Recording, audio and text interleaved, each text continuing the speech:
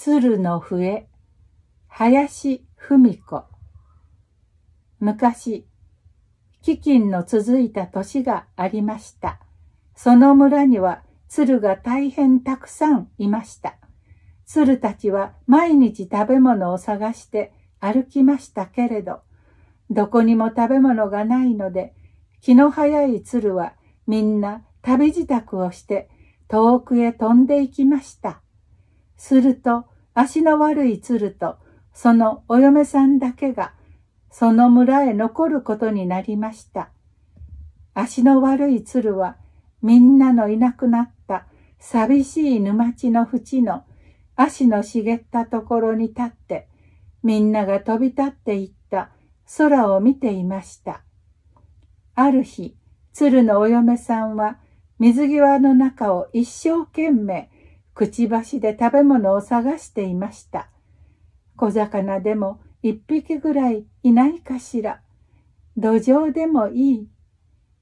もう今朝はさすがにふらふらになって一生懸命あっちこっち探していました。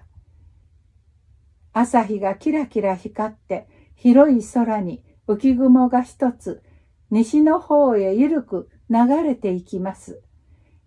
若木の林の中はところまだらに日の光が煙っていて美しい景色でした。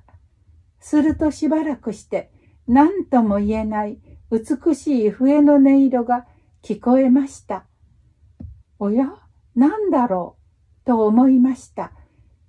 今までお腹の空いていたお嫁さんの鶴はふっとお腹のくちくなるような気がして、その美しい笛の音色を聞いていました。ぼーっと笛の音のする方へ歩いていきますと、足の悪い鶴が横笛を吹いていました。おやおや、あなたが笛を吹いていたのですか？お嫁さんの鶴が尋ねました。足の悪い鶴は恥ずかしそうに振り返って、さっきね、何かないかと思って、沼の中を探していたのさ。そしたらカチンと硬いものが口に触ったので、慌てて加えたら、この笛だったのだよ。なんだろうと思ってね。いろんな風に加えていたら、ふっと竹の小さい穴からきれいな音がしたのさ。もうお腹の空いたのも忘れてね、これを吹いていたのさ。まあ、そうでしたの。とてもきれいな音色でびっくりしました。なんだか昔の楽しい頃のことが浮かんできて、とても気持ちが良くなりましたわ。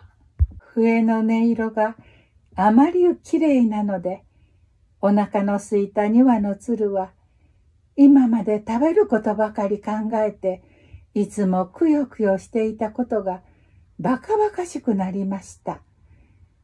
自分たちを置いて勝手に飛んでいってしまったたくさんの鶴たちを恨んで二人は毎日愚痴ばかり言っていましたけれど、笛を拾ってからは笛の音色があんまり綺麗なので、二人は乏しい食べ物に満足して、お話をすることは楽しかった思い出話や遠くに行った鶴たちが幸福であればいいという話ばかりになりました。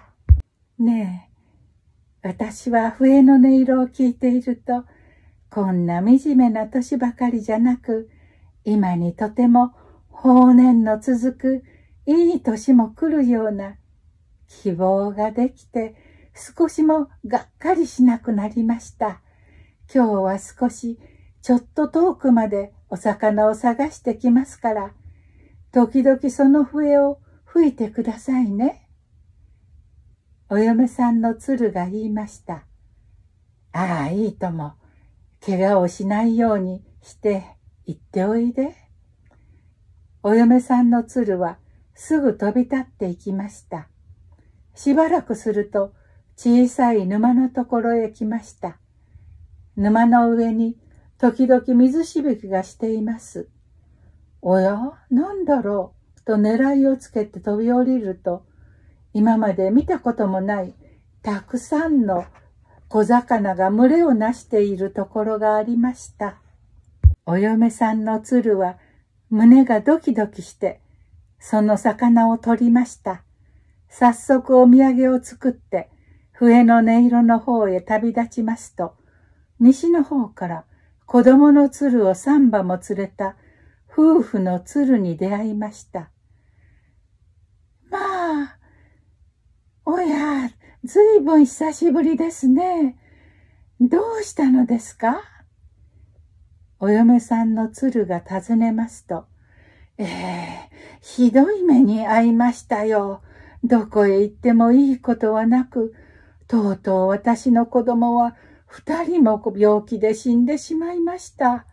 どこかいいところはないかと思って、方々さまよっているところへ、何とも言えない綺麗な笛の音がするので、きっとあの笛の鳴る方には、いいことがあるに違いないと思って、やってきたのですよ。と申しました。まあ、そんなに笛の音が遠くまで聞こえるのでしょうか。あれは足の悪いうちの主人が吹いているのですよ。お嫁さんの鶴の案内で飛んで行きますと自分たちの見捨てた村だったのでびっくりしました。お嫁さん鶴は笛の音色を長い間聞いていましたので心の中が広々としていてどんなに自分たちが困っていても他のものに施しをするのは気持ちのいいものと思うようになっていました。早速さっき取ってきた魚を夕食に出して、旅疲れのしたお腹の空いている鶴たちに食べさせてやりました。足の悪い鶴も、お嫁さんの鶴もほんの少し食べたきりで、遠慮しないでお上がりなさい。たくさん食べて元気を出して行ってください。としきりに進めましたので、鶴の親子は涙ぐんでしまいました。たったこの間まではみんな食べ物を隠し合って自分たちのことばかり考えていた鶴たちは夜と触ると食べ物の喧嘩で中ではお互いに騙したり傷つけ合ったりして血生臭いことばかりで鶴たちは食べ物のことと一緒に精神的な心配で、今日は楽しいという日は一日だってありませんでした。みんなガヤガヤ群れをなして弱いものを脅かしては少しの食べ物を取り上げて強いものが威張っているのです。鶴の子たちも自然に気持ちがすさんで大人の悪いところばかり真似るようになって、汚い言葉遣いで喧嘩ばかりしていたのです。あんまり飢饉が続いたので、みんな村を捨てて行ってしまいましたけれど、今はかえって以前より平和になり、七羽の鶴はどんなことがあっても、望みを捨てないで、ここで元気に働いて、暮らしましょう、と話し合いました。鶴のお嫁さんの案内で、魚のたくさんあるところを見つけましたので、七羽の鶴は質素な気持ちでいつも楽しく食事をすることができました。あるよ、あんまり美しい月夜で、金色の光が高々とあたりを照らしていますので、足の悪い鶴はまた笛を出して吹きました。サンバの子供の鶴はお月様へ向かって歌を歌いたくなりました。きれいな、きれいな月様。小さい鶴が歌いました。すると中の兄さんの鶴が、生まれた村が一番いい。と歌いました。上の兄さんは、気持ちのいい夜だね。何を考えても楽しいね。と歌いました。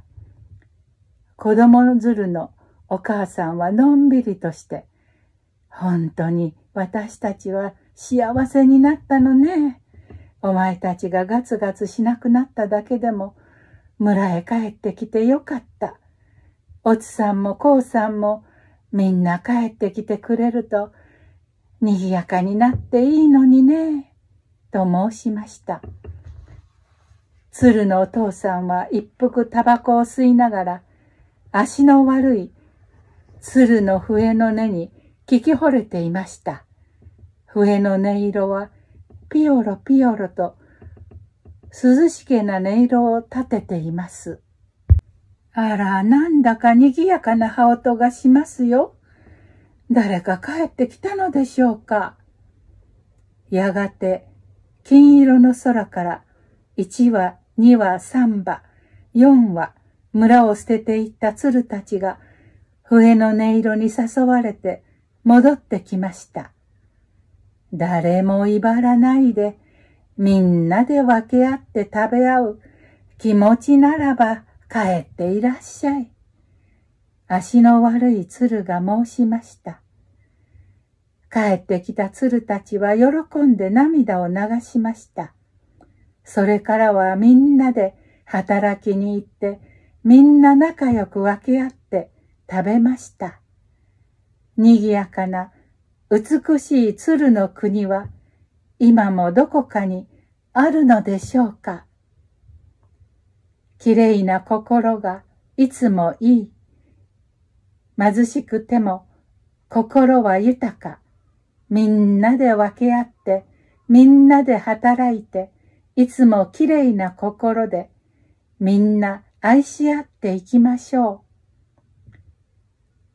鶴の笛はいつもそう言って、ピヨロピヨロと優しくなっていたのです。